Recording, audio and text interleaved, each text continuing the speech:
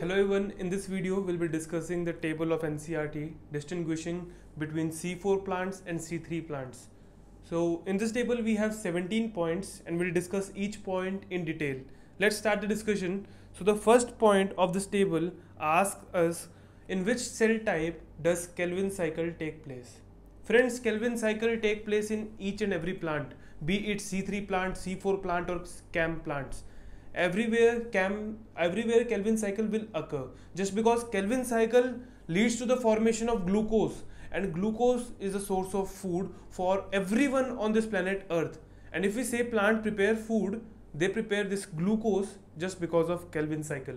And Calvin cycle has three steps carboxylation reduction and regeneration.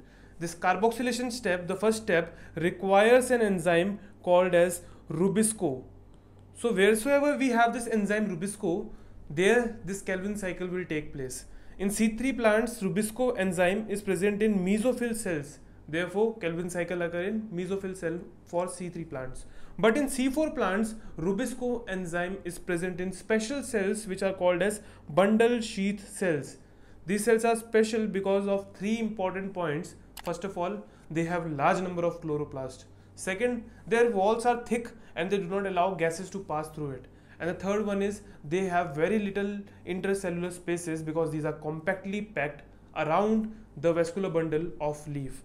Now coming to the second point. Second point is asking the cell type in which initial carboxylation reaction takes place. What do we mean by initial carboxylation? So we know friends that carbon dioxide fuses with the primary carbon dioxide acceptor and forms a product. This product is called as primary carbon dioxide fixation product. So this is the primary carboxylation reaction occurring.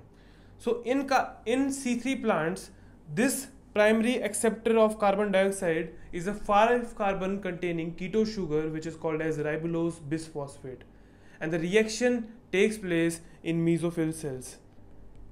Now let's talk about C4 plants. C4 plants have a, another carbon dioxide acceptor molecule which is called as phosphoenol pyruvate. And this first carboxylation reaction or say carbon dioxide fixation reaction takes place in mesophyll cells only of C4 plants. And we know that in C4 plants this whole carbon dioxide fixation and then ultimately Calvin cycle takes place and this whole cycle where the initial carboxylation reactions are occurring is called as Hatch and Slack pathway. And I've made a video over this pathway. You can see that video also. Now coming to the third point how many cell types does the leaf have to fix carbon dioxide? In C3 plants we have only one type of cells and these are mesophyll cells. So we have only one type of cell in C3 plants but in C4 plants we have two type of cells. One is the mesophyll cell and the other one is bundle sheath cells. So in first that is mesophyll cell the initial carbon dioxide fixation or say the primary carbon dioxide fixation product is formed. And in bundle sheath cells we have rubisco enzyme and there occurs the king of photosynthesis that is Calvin cycle. Now let's talk about Fourth point, what they are asking, which is the primary carbon dioxide acceptor uh, in C3 plants? In C3 plants, I told you it is a 5 carbon containing keto sugar that is named as RUBP, that means ribulose bisphosphate.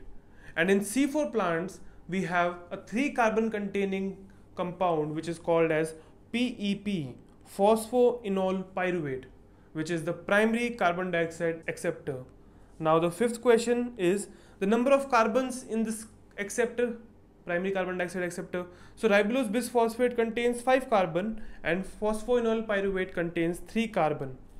Next question is which is the primary carbon dioxide fixation product in C3 and friends this is the main reason we have two types of plants C3 plants and C4 plants because we have named them C3 and C4 on the basis of primary carbon dioxide fixation product formed.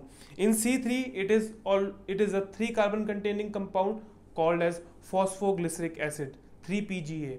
And in C4 plants, it is a four carbon containing acid that is oxaloacetic acid. So they are asking which is the primary carbon dioxide fixation product in C3 plants we can say that it is 3-phosphoglyceric acid PGA and in C4 plants it is a 4 carbon containing acid which is OAA oxaloacetic acid.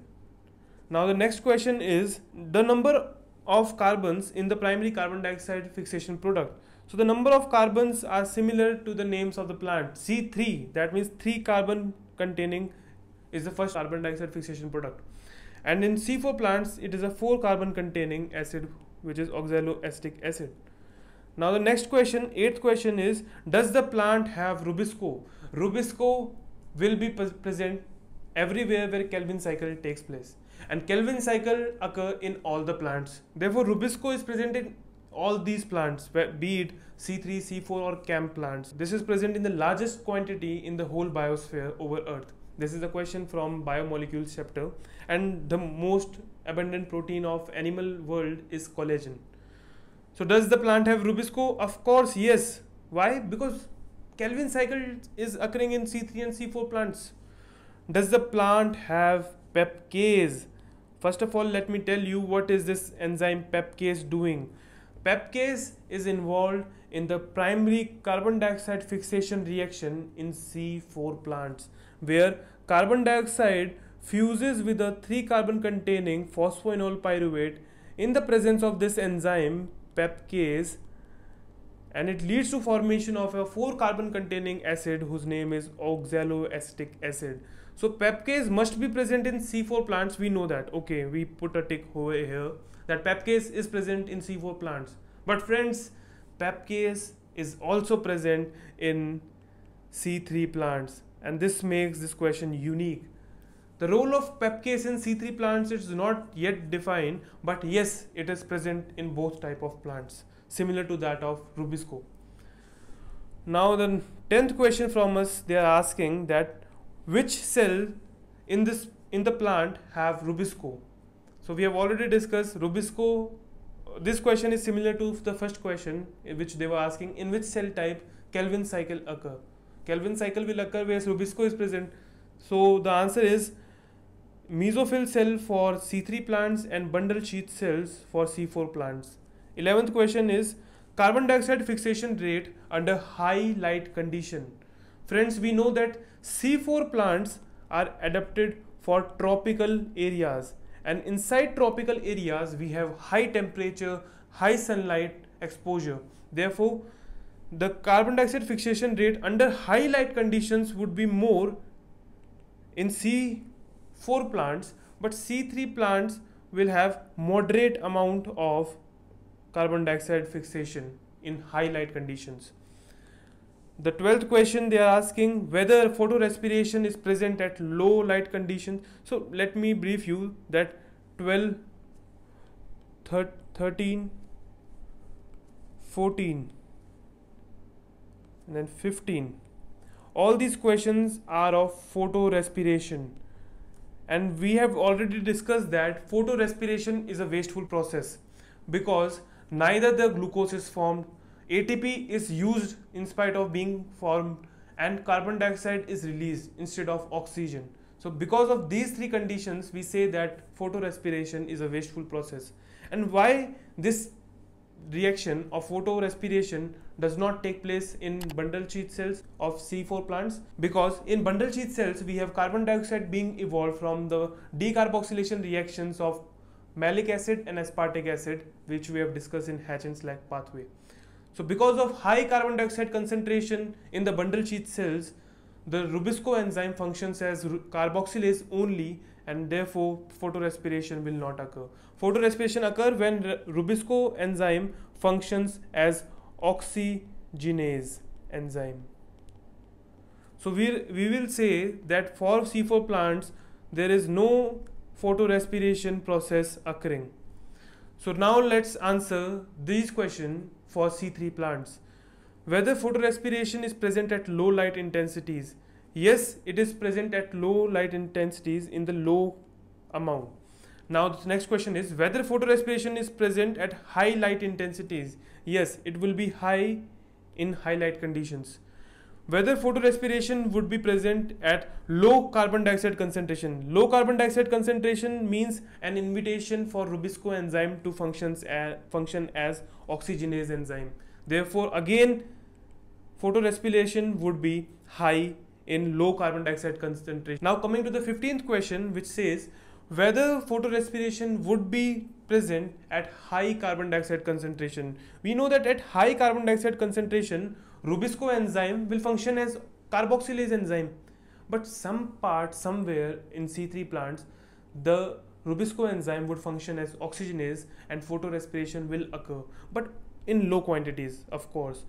So photorespiration would be at highest quantity in C3 plants when we have high light conditions and when we have low carbon dioxide conditions.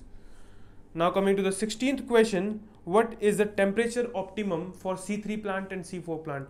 C3 plant belong to temperate regions. Therefore, their temperature would be from 25 to 30 degrees Celsius. But C4 plants are adapted for tropical areas. Therefore, their temperature optimum ranges from 30 to 40 degrees Celsius, which is higher in comparison to C3 plants.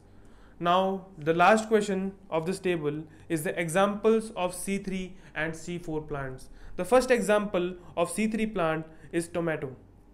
The second, second example of C3 plant is bell pepper. Now coming to the examples of C4 plants, we have already discussed them. First is maize and the second one is sorghum. So with this friends, we have discussed the complete table distinguishing C3 plants from C4 plants. I hope this video was useful to you. For more such relevant con content, you can check my YouTube channel. And I have also uploaded my notes of these videos on my Telegram channel. Do visit that channel also. Thank you for watching this video till the end.